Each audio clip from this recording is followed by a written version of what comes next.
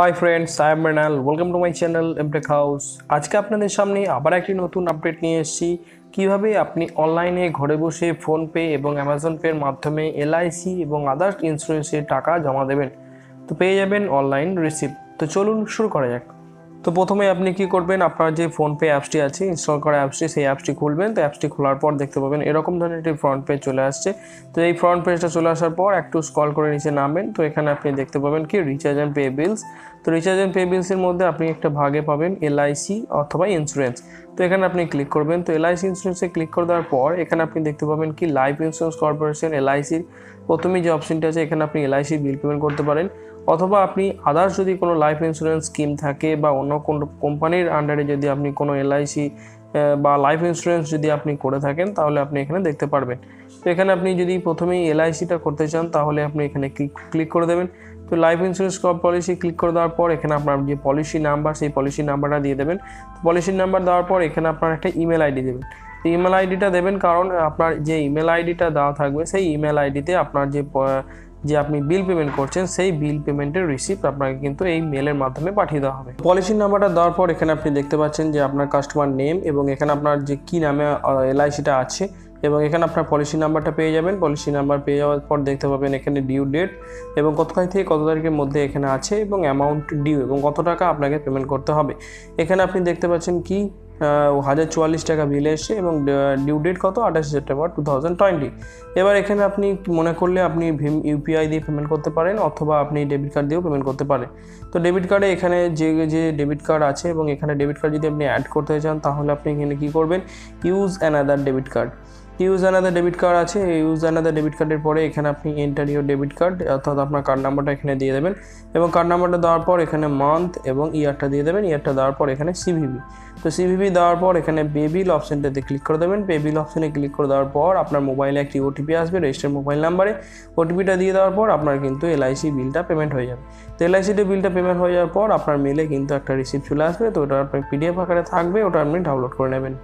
তো এবার আপনি যদি আপনার অ্যামাজন পে ব্যালেন্সের মাধ্যমে এলআইসি বিল পেমেন্ট করতে চান, তাহলে আপনার ইনস্টল অ্যাপসটি আছে অ্যামাজন অ্যাপসটি সেই অ্যাপসটি আপনি খুলে নেবেন। তো অ্যাপসটি আপনি খুলে নেওয়ার পর এখানে আপনি দেখতে পাবেন কি না Amazon Pay send money scan UPI QR এবং এরপরে দেখতে পাবেন পে পে বিলস তো এখানে আপনি পে বিলস অপশনে ক্লিক করে দেবেন। তো পে বিলস অপশনে ক্লিক করে দেওয়ার পর এখানে আপনি দেখতে পাবেন কি না এখানে আপনি দেখতে পাবেন যে ইন্স্যুরেন্স প্রিমিয়াম গুগল প্লে রিচার্জের পরেই দেখতে পাবেন ইন্স্যুরেন্স প্রিমিয়াম এখানে আপনি ক্লিক করে দেবেন। ইন্স্যুরেন্স প্রিমিয়াম ক্লিক করে দেওয়ার পর এখানে আপনি দেখতে পাবেন কি না, প্রথমেই যে অপশনটি life insurance corporation of India তো এখানে যদি আপনি এলআইসি পেমেন্ট না করতে চান, তাহলে আপনি এখানে ক্লিক করে দেবেন। তো এখানে আপনি ক্লিক করে দেওয়ার পর এখানে যে যে ইন্স্যুরেন্স কোম্পানিগুলো আছে, সেই কোম্পানির মধ্যে যদি আপনি থাকেন বা নিয়ে থাকেন এলআইসি বা লাইফ ইন্স্যুরেন্স পলিসি তাহলে আপনি এখানে কি করবেন? ক্লিক করে দেবেন। তো ক্লিক করে দেওয়ার পর এখানে আপনি যদি মনে করেন যে এলআইসি পেমেন্ট দেবেন, তাহলে আপনি এলআইসি অপশনটা ক্লিক করে দেবেন।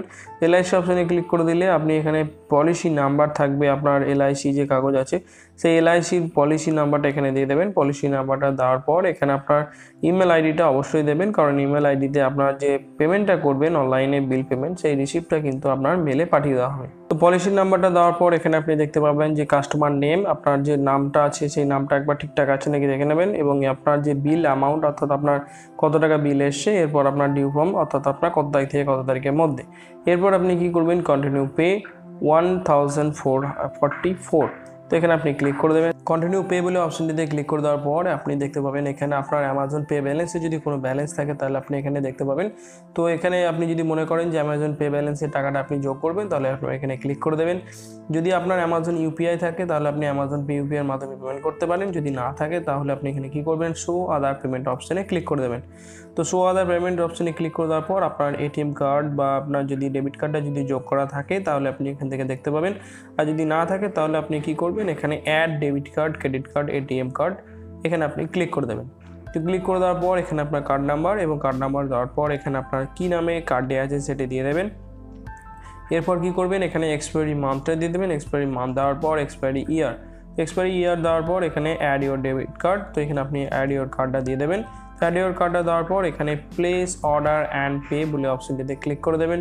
তো প্লেস অর্ডার প্লে অপশনটিতে ক্লিক করে দেওয়ার পর এখানে আপনি কী করবেন? আপনার মোবাইলে একটি ওটিপি চলে আসবে।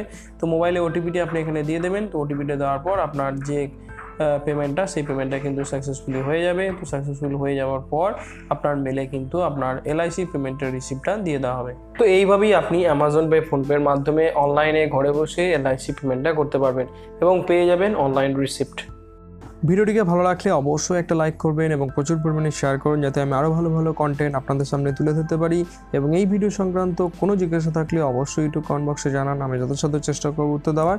আর আমার চ্যানেল নতুন হলে অবশ্যই চ্যানেলটিকে সাবস্ক্রাইব করে নেবেন এবং সাবস্ক্রাইব পাশেই যে বেল আইকনটা সেটা ক্লিক করে দেবেন। তাহলে এরকম ধরনের নতুন নতুন আপডেট পেয়ে যাবেন সঙ্গে সঙ্গে থ্যাংক ইউ